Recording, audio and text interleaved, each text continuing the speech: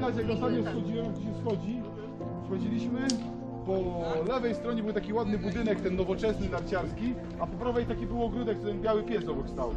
I w tym ogródku, jakby zobaczycie, jest taka balia z ciepłą wodą. Jak to nie to będzie... To? Tutaj my jesteśmy wzdłuż cza- e, Kowarskiego Grzbietu, jest czerwony szlak. Dobra. A Czyli miejsce, to jest miejsce zabaw dla dzieci. Nie tylko małych, ale też dużych.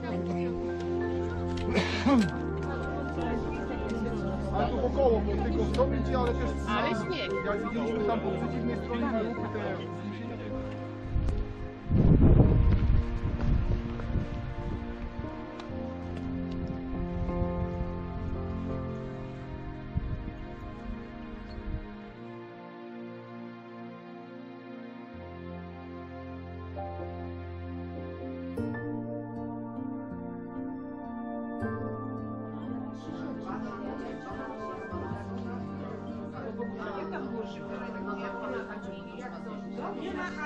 Nie zjesz tego już?